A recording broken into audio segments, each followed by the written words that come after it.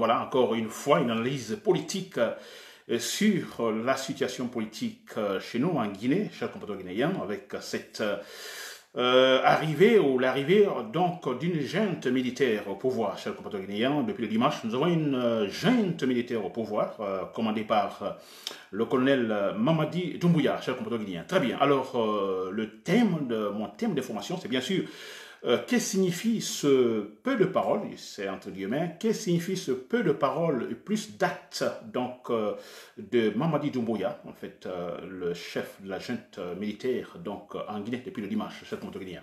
Qu'est-ce signifie en fait cette affirmation de Mamadi en fait Doumbouya? Nous l'avons suivi, tous nous avons suivi, interrogé par les journalistes, n'est-ce pas? Il ne veut pas trop parler, mais voilà, on lui demande par exemple son humeur. Euh, qui va-t-il se passer, euh, son calendrier, etc., etc., n'est-ce pas? Alors il dit, bah, écoutez, le moment euh, n'est pas en fait aux paroles, en fait, parler beaucoup, beaucoup de paroles, mais des actes, n'est-ce pas? Et qu'est-ce que signifie cela? Cher compatriote c'est très important. Très bien. Alors, c'est mon thème d'information. Je rentre donc dans les détails, cher compatriote guinéen. Alors, d'abord, cette citation de Mamadi Doumbouya, donc le nouvel homme fort, en fait, euh, en Guinée, euh, c'est, je cite, la justice sera la boussole qui guidera tous les Guinéens. Fin de citation. C'est très important. Hein. La justice sera en fait la boussole qui guidera tous les Guinéens. Fin de citation. Donc c'est de colonel Mamadi Doumbouya, cher guinéen. Très bien. Alors, cher guinéen, encore une fois, donc euh, je reviens. là, je vais le dire toujours d'ailleurs, je vais le répéter chaque fois maintenant pour mes directs. Vous le savez très bien qu'antérieurement, en fait, euh, tous mes discours euh, étaient centrés sur Alpha Condé, c'est vrai. Je l'ai toujours dit parce que Alpha Condé était le problème. Nous sommes, euh, la Guinée, notre forme, donc, notre système constitutionnel, le système politique que nous avons, en fait, c'est, comme on dit, le présidentialisme. Donc, c'est-à-dire le président de la République a beaucoup de pouvoir, n'est-ce pas? Donc, si les choses ne vont pas bien, il est, c'est bien lui. Et si tout va bien, c'est lui, parce qu'il a tout le pouvoir en fait euh, concentré dans ses mains, cher Et en plus, en plus, non, à part euh, cette situation légale, c'est-à-dire le, présidentialisme, on a ce côté illégal, c'est-à-dire que cet homme-là qui a déjà tout le pouvoir en main, alors cette fois-ci, alors euh, de façon illégale, il a la main sur tout encore, forcé, hein, il force tout, euh, le pouvoir judiciaire, le pouvoir euh, parlementaire, n'est-ce pas? Voilà, cher compatriote guinéen. Alors, euh, je l'ai dit, donc si tout va mal, c'est bien sûr le président, n'est-ce pas? Si tout va bien, c'est lui, n'est-ce pas? Voilà pourquoi tous mes discours étaient centrés sur Alpha Condé, c'est clair, n'est-ce pas? Et la preuve, la preuve, n'est-ce pas? Voilà, c'est voilà ce qui se passe aujourd'hui. Très bien. Alors, comme tout était centré sur Alpha Condé, Maintenant, Alpha Condé euh, est tombé, n'est-ce pas? Alpha Condé n'est plus euh, président, n'est-ce pas? Donc, euh, cet obstacle est totalement évité, ou derrière nous, c'est vrai. Alors, comme je l'ai toujours dit en prenant cet exemple, sur le ring de boxe, quand votre adversaire vous le frappez et qu'il tombe, il est à terre, vous n'allez plus continuer à lui donner des coups, n'est-ce pas? C'est interdit l'arbitre ne sera pas d'accord avec vous. Alors, c'est la même situation, vous comprenez Alors, euh, comme forme d'imagination ou d'image, n'est-ce pas C'est la même situation. Alpha Condé est battu, Alpha Condé est par terre. Alors, euh, moi, je ne veux plus continuer à lui donner des coups. Non, il a perdu, il n'est plus l'obstacle, il n'est plus le mal, n'est-ce pas, cher guinéen Il n'est plus le mal.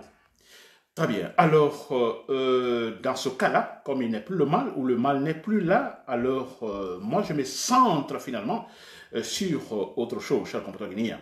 Bien sûr qu'on parlera des conséquences négatives de sa, de sa gestion, n'est-ce pas? Ça c'est vrai, on en parlera, bien sûr, pour pouvoir finalement en fait se positionner dans le présent maintenant, n'est-ce pas?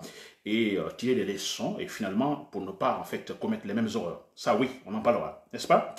Chers compatriotes guinéens. Alors, euh, maintenant, je me centre sur, euh, en fait, euh, la junte militaire au pouvoir, qu'il faut aider, qu'il faut, en fait, aider à s'orienter mieux. Hein. en fait, elle ne doit pas se tromper, cette junte militaire, c'est vrai. Alors, des propositions aussi, c'est ce que je fais maintenant, d'ailleurs, des propositions. Alors, pour pouvoir, je le fais, nous devons tous tenter de le faire, compatriotes guinéens, étant guinéen, et je crois que cela va dans l'intérêt de tout le monde, cher compatriotes. Très bien. Alors, alors aujourd'hui, nous avons Mamadi Doumbouya avec ses camarades au pouvoir. C'est une junte militaire, ce sont des militaires, chers compatriotes. Ils sont au pouvoir, n'est-ce pas? Et là, je l'avais dit à tout moment aussi dans mes directs ou dans mes écrits, que euh, le successeur de Alpha Condé aura le pain sur la planche et aura un véritable boulot, du travail à faire. Qui doit remplacer Alpha? Qui viendra après Alpha Condé? Je l'ai dit. N'est-ce pas que ça pour le pied? C'est du travail. Pourquoi? Parce que Alpha Condé a désorganisé tout sur le plan social, sur le plan économique, financier et politique. Tout est désorganisé. N'est-ce pas? Alors, euh, son successeur a du travail. N'est-ce pas? Et bon voilà, cela tombe sur le colonel Mamadi Doumbouya, militaire, voilà, d'ailleurs, qui ne maîtrise pas le domaine, n'est-ce pas? Mais, comme on dit, quand il y a la volonté, on peut, n'est-ce pas? Mamadi Doumbouya a sûrement la volonté, donc euh, il peut, n'est-ce pas? Très bien. Il a du travail. Pour cela, comme euh, vous avez vu la forme par laquelle euh, Mamadi Doumbouya est arrivé au pouvoir, ça a travaillé un coup d'état militaire, n'est-ce pas? Alors, euh, généralement, on peut dire, euh, donc c'est la forme illégale de prendre le pouvoir. Non, on le dit, n'est-ce pas? Même si cela peut être légitimé maintenant, euh, comme c'est le cas actuellement en Guinée, sur le compteur guinéen. Très bien.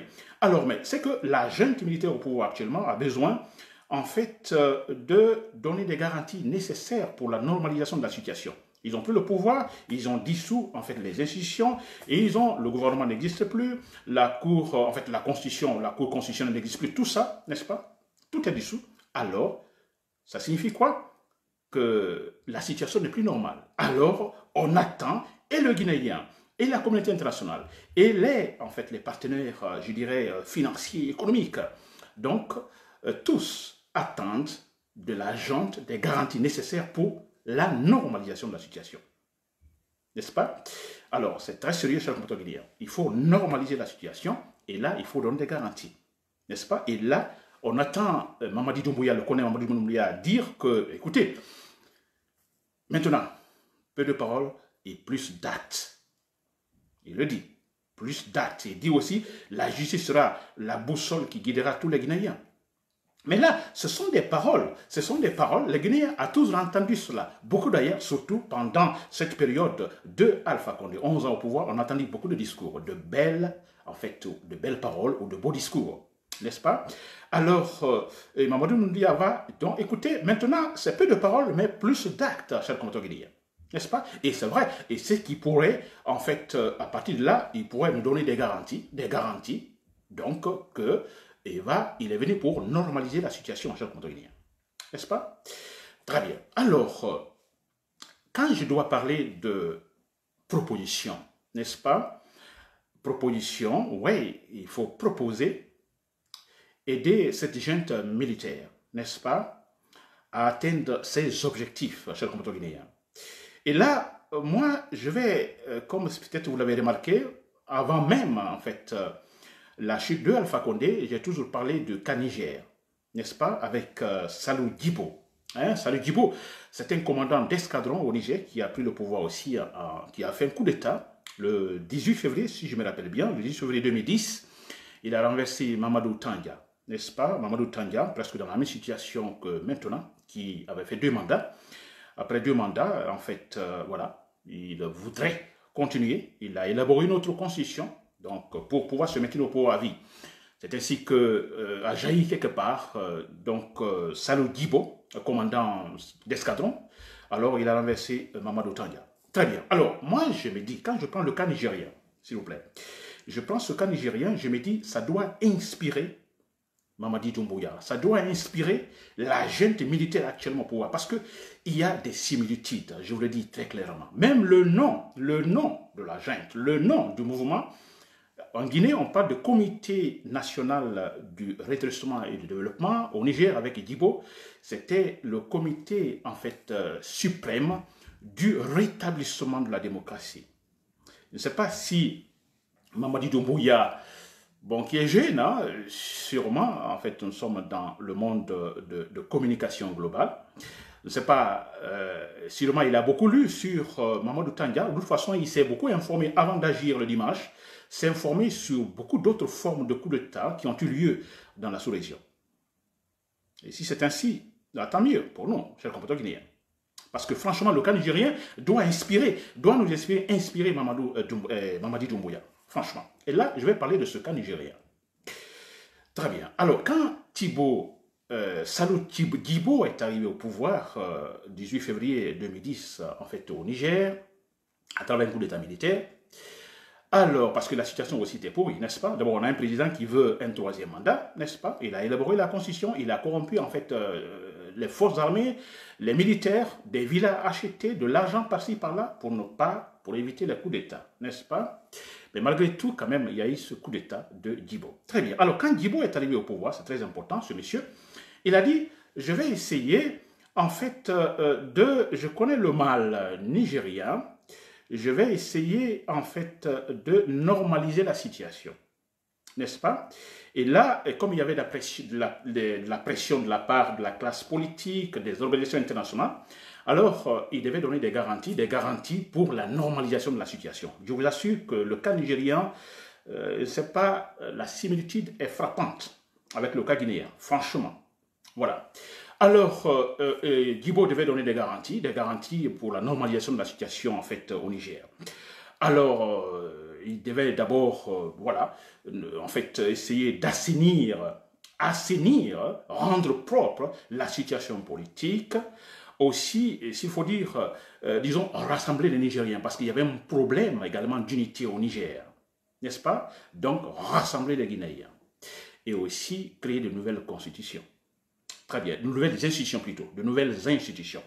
Très bien. Et comment il a élaboré? Comment il a élaboré euh, franchement. Donc, Djibo qui est militaire, sûrement, il s'est entouré, en fait, des intellectuels, des gens avec l'esprit posé, euh, moralement, euh, sur le plan éthique également, n'est-ce pas? Alors, euh, qu'est-ce qu'il a fait Djibo pour travailler? Commencer son travail? Parce que notre Mamadi Doumbouya, il est actuellement dans cette situation. Parce que s'il nous dit, écoutez, je ne peux pas beaucoup parler, j'ai du boulot à faire, beaucoup de travail à faire. Alors, quand Djibo au Niger, il est arrivé, il s'est entouré donc de ces intellectuels. Ils ont placé, placé d'abord euh, ce qu'on appelle un organe. C'est un dispositif, hein, n'est-ce pas, euh, je dirais institutionnel, donc composé de magistrats, des juges, des intellectuels.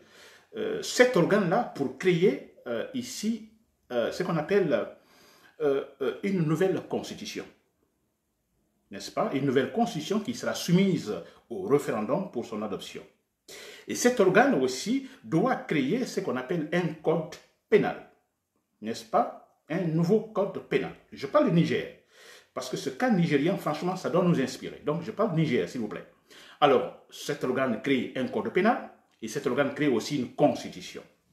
N'est-ce pas? Ensuite, donc, ils ont créé un organe pour assurer ce côté-là. Ensuite, ils ont créé ce qu'on appelle un conseil constitutionnel. Parce que quand il y a un coup d'État, euh, écoutez, quand il y a coup d'État, ils ont dissous en fait euh, la Cour constitutionnelle, ils ont dissous la Cour euh, suprême également. Donc ils ont créé pour la transition, parce qu'ils sont là pour une transition, alors ils ont créé aussi un conseil constitutionnel, cette fois-ci pour remplacer la Cour constitutionnelle, remplacer la Cour suprême.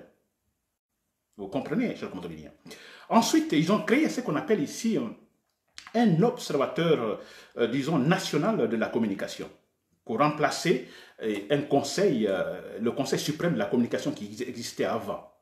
N'est-ce pas? Parce qu'ils sont venus pour normaliser la situation. C'est une période de transition. Alors, euh, toutes les institutions étant corrompues, n'est-ce pas? Alors, ils sont dans une période exceptionnelle. Alors, il faut créer d'autres organes, d'autres institutions pour remplacer ces institutions, ces organes qui existaient avant. Ça, c'est pour bien travailler, préparer, en fait, l'avènement de la vraie démocratie. Très bien. Alors, euh, a ainsi élaboré ainsi, ils ont appelé cela assainir la situation politique, n'est-ce pas? Rassembler les, les, Nigérians et aussi une nouvelle constitution. Et c'est comme ça qu'il a élaboré.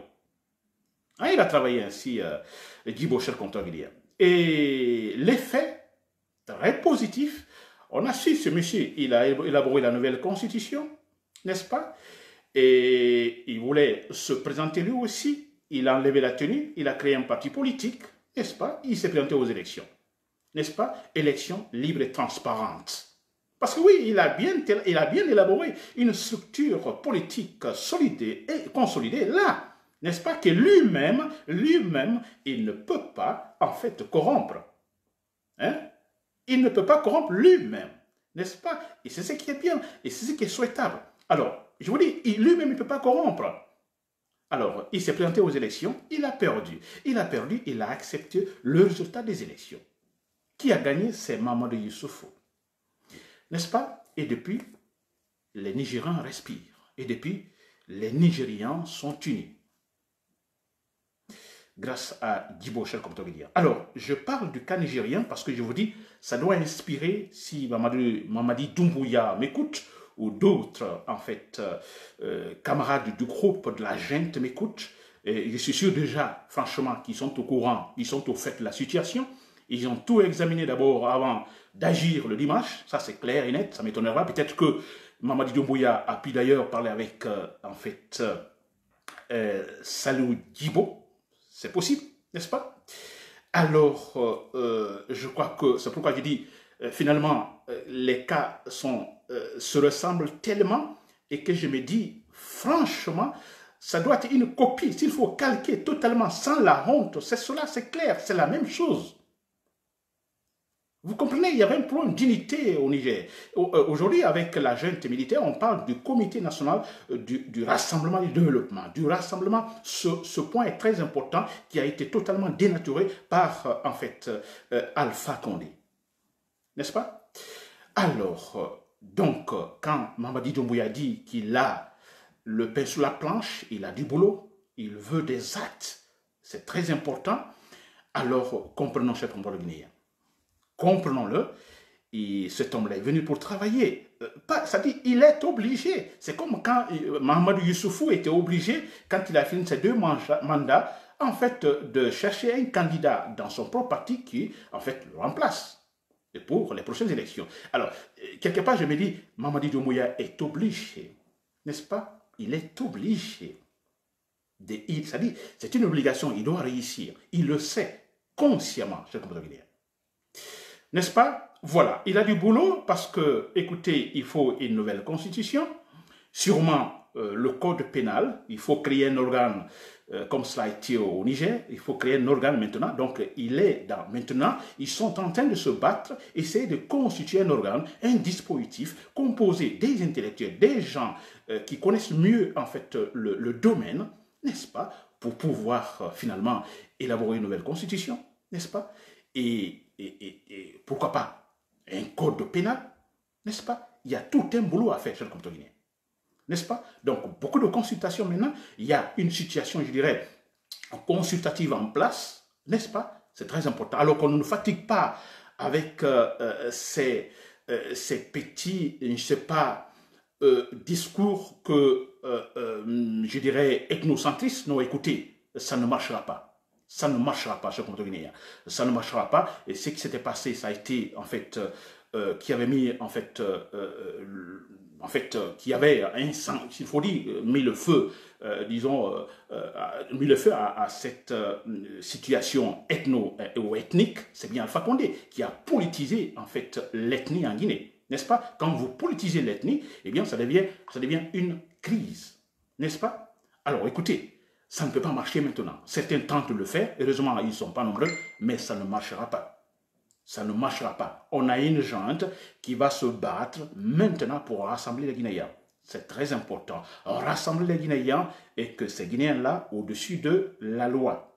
La loi au-dessus de tout le monde. C'est pourquoi d'ailleurs, j'aime franchement cette phrase de Mamadi Doumbouya, la justice sera la boussole qui guidera tous les Guinéens. Mais ça, c'est de la parole, c'est un discours, n'est-ce pas? Mais écoutez, il l'a dit, je veux des actes. Il faut des actes. Et pour les garanties, garanties pour la normalisation de la, situation, écoutez, il faut des actes. Des actes, c'est ce que cherche maintenant Mamadi Doumbouya, cher Ce n'est pas facile, je vous dis, ce n'est pas facile.